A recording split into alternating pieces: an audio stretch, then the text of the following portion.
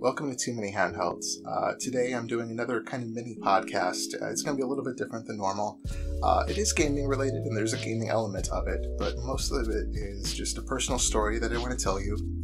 And uh, yeah, that's kind of it. It's, it's very personal. So today, the day I'm recording this, is March 7th.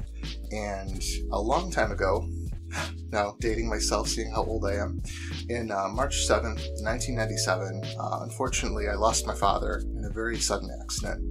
Um, there was no warning. Uh, I saw him the night before, and then very early in the morning, that was it. He was gone, and it affected me a lot. I mean, it's it's the kind of thing. Something like that will shake you to your core.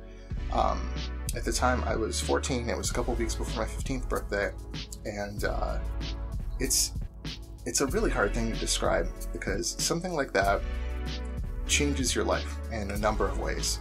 And the day that happened, there was so much going through my head. Um, if you think about maybe even the beginning of the pandemic, that might be a good comparison. it's on a smaller scale, but just how, you know, there was a point in time where after that, nothing is the same that was kind of what it was like, but it's sort of like this person that was really close to me, that was in my life uh, up until that point, that I assumed would be in my life for much, much, much, much longer, was suddenly gone. And this is someone who I expected to be there for milestones in my life.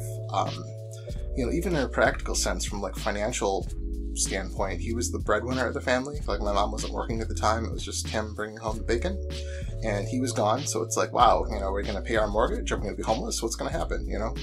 Um, and just missing this person intensely, you know, and just there's a lot of stuff going through your head after an event like that.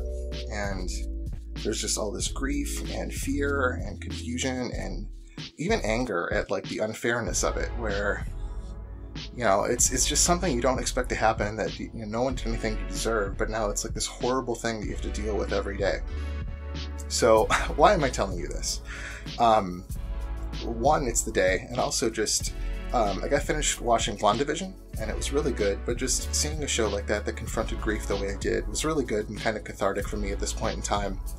Um, you know, just in my year, because every once in a while, not every year, but mo- many years, uh, at this point in the year, I tend to get a little depressed.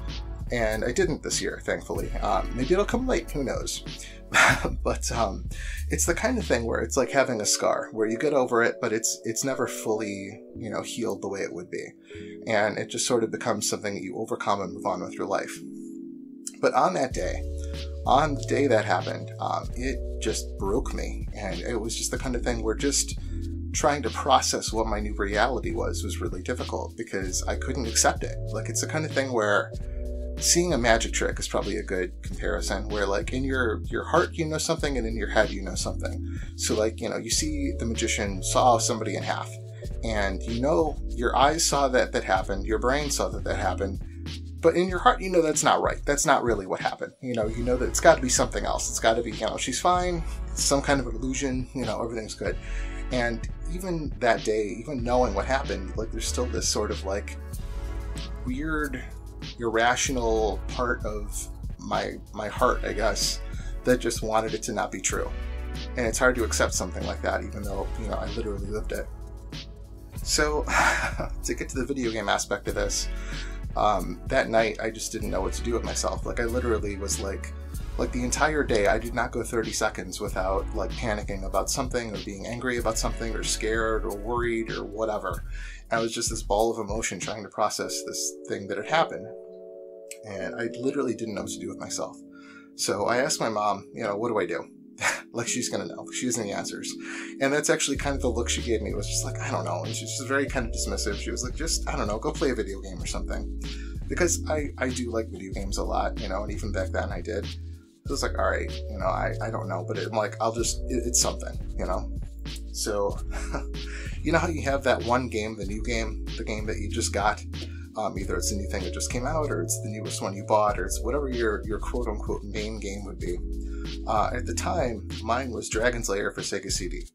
Because there was uh, someone at school, that was a friend that sold me his copy for like, I don't know, $8 or so.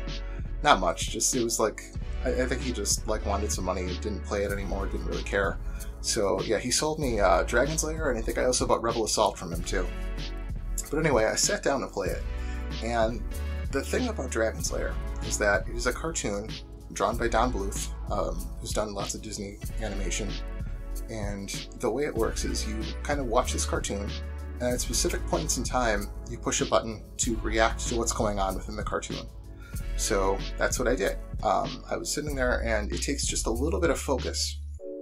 And my friend, when he gave me this, uh, he was kind enough to include it's like a folded up piece of uh, a magazine that had all the little button presses that you need to do on each scene. And it, in one way, it helps with the game a lot because you know buttons to push, but you still don't know the timing of it, and Sega CD doesn't really show you the way the modern ones do. So it's the kind of thing where you really have to focus and time your button presses perfectly.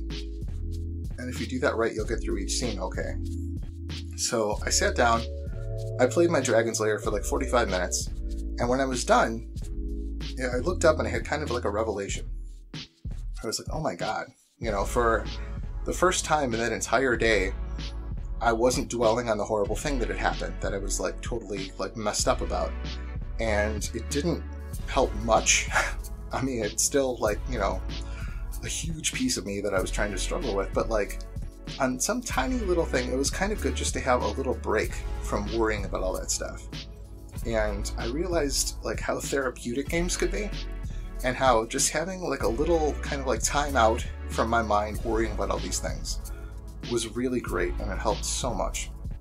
So I started kind of using games in that way where they're more therapeutic, but at the same time, I, I wanted to make sure it was like a, a momentary thing and not like an escapist thing.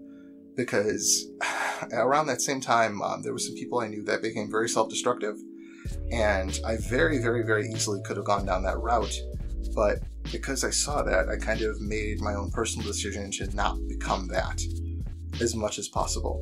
So it was the kind of thing where, you know, if I was playing for too long, I would like stop myself because I just wanted to make sure that even though I knew I was in control of myself, I wanted to stay in control of myself. Because what can happen is if you lean on something like that too hard, um, it becomes something that's almost like a dependency where you can't get by without it. And that doesn't just go for games, that goes for like drugs and other stuff, of course, obviously. But, you know, I think escapism in games is probably a lot healthier than, you know, an addiction. But it is still a form of addiction. It can be a form of addiction. Um, there was someone in college I knew who I viewed him almost like a rival in classes because we had a lot of classes together and we would do projects. And he always made similar projects and they were always a little better than mine. But then um, he just kind of got addicted to an online game and just stopped coming to school. And it was like that cliche story you hear of just that person whose life kind of fell apart because something kind of took over it. So, you know, that was another factor in that kind of trying to make sure that I, I still like was in control of my own life and didn't let something like that do it. But I still to this day use games like that to kind of just shut my brain off and kind of like clear anything out of it and stop worrying about things for a little bit. And then you know, enjoy them. But, you know, then come back and deal with them a little bit later. Because I think that's kind of a healthy approach to it. I could be wrong. I'm not a therapist. I don't know. But um, that's been my approach. And that's also why I can't play games for too long. Like, that's why it takes me forever to beat an RPG because I can't just sit down and play it for like eight hours. Like, I need to take breaks. Otherwise, I just don't feel right about it. It's kind of a hard thing to describe. But um, I think all these events kind of molded me into this this type of person. But um, I'm grateful, very much so, because you know at that point in time, my life could have gone in a lot of different ways. But just that one little recommendation of like I don't know, go play a game, like kind of set me on the path I needed to be on. And it was just a really simple little thing. Like my mom didn't know what to do any more than I did, of course, but it was helpful and it was very good. And uh, I am having an okay life. So I didn't do anything crazy and self destruct. I didn't get addicted to anything, thank God. And uh, I'm okay. And it's the kind of thing where, again, every year around this time, I'm still affected by it and it still kind of bothers me. And it's the kind of thing where, you know, I'll, I'll never get to talk to him again. And that's kind of upsetting. Um, there are a lot of people that say, you know, oh, in the afterlife, maybe, you know, that's fine. But I'm, I'm talking about this life right now. And there's always, it feels like a very, like, like some like a TV show with a very like big cliffhanger and then it gets canceled. You know, or not even like you're just in the middle of midseason, it's just gone, and there's a lot of untied uh, loose ends and things that you wanted to say and do and stuff like that. And having my birthday immediately after was even worse because he got me gifts that he was never able to give me. So, like, one of the gifts that I have that I still have to this day and I treasure is that uh, when I was a kid, my mom sold Tupperware. And so when we went fishing, I had a little Tupperware like tackle box, which as a kid is fine. But once I got to be like 14, it looked kind of goofy to have that, and I felt kind of goofy carrying it. But that was the tackle box I had. So he got me like a really nice adult big boy tackle box, but then was never able to take me fishing with it. So things like that were just like these bittersweet moments that happen that it's just like ah, and it just crushes my soul, you know. But you know that's that's how things are so that is why in a very long-winded story um, i love dragon's lair it's like one of my favorite games even though it's not even a great game. Like i'll admit like it's it's one of those FMV games that if i didn't have that magazine clip out i wouldn't have been able to do it. And um, i actually laminated that magazine clip out just because it helped me in that moment. And it's one of those things where it's just a little piece of paper but it meant so much to me just to kind of like help me through that and kind of again take away my worry for just that little point in time I really needed it. That like that's another thing that I treasure and will forever treasure just because it means a lot, you know. So uh, that is my long story. Uh, if you're still listening, thank you. Uh, I just wanted to get that up and let you know this is uh, I don't know. It's it's a weird day. I don't know how to wrap this up, to be honest. I really don't know how to wrap up any of my videos, to be honest. Um, I should probably come up with uh, some kind of sign off, but thank you for listening. I appreciate it very much, and uh, have a great day. And you know, love your family. Like you don't know how much time you have left. You never do. Live every day like it's your last. Thank you for listening.